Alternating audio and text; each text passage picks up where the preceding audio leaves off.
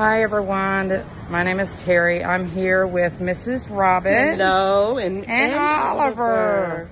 And uh, we are, I've delivered, flight nannied her puppy Oliver from Dayton, Ohio, from Augie's Dogies to and, Portland, Maine. And I have to say, it happened. It was definitely a God thing because I picked him out on Monday and he's here on Wednesday. And, and he's adorable and he's everything that I could ask for. So again, hit dog, Augie's Dogies up if you're looking for a precious baby. Uh, very good breeder and very honest. So very honest. Thank you so honest. much. Enjoy. Enjoy.